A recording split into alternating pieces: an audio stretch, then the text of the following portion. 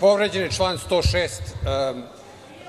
Malopre smo čuli od predsednice Narodne skupštine, kad je oduzimala reč opozicionim poslanicima, da ne mogu da govore ni o čemu osim o uskoj tački dnevnog reda, a to je amandman. Čak i kad su govorili o obrazovanju i malo proširili tačku dnevnog reda. A dozvolili ste ovde tiradu predstavniku SNS-a koji već 25 minuta govori o svemu, samo ne o amandmanima. Znači, prvo, povređen Poslovnik, drugo, imate diskriminaciju u Skupštini i sprovodite ovu samovolju i bahatost non-stop. Ovo zaista mora da prekine. Na takav način ne možete da vodite sednice Narodne skupštine. Ni vi, ni predsednica.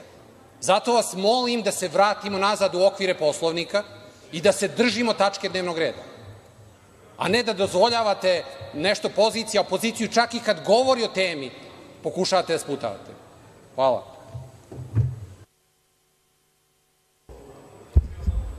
Smatram da pomenuti član 106. nije prekršen. I ja bih razumeo gospodina Radulovića da je on na bilo koji način u diskusiji kolege Martinovića spomenut ili na bilo koji drugi odlično poznajem Poslovnik, ali odlično poznajem i to kako parlament funkcioniše. Nismo mi ovde ni nepismeni, ni zli, ni neznalice i nećete vi nas da vaspitavate.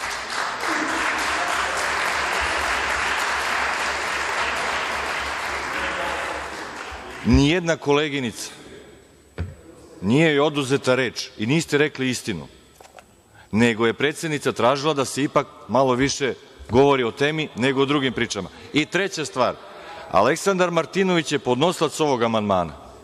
Slušao je sat vremena kako se njegov amandman kritikuje. Hoćete da mu oduzmem pravo da odgovori? To neću nikad uradim. Da li smatrate, imate isti aršine, gospodine Raduloviću, da li želite da se u danu za glasanje Narodna skupština izjasni? Zahvaljujem, izjasniće se Narodna skupština.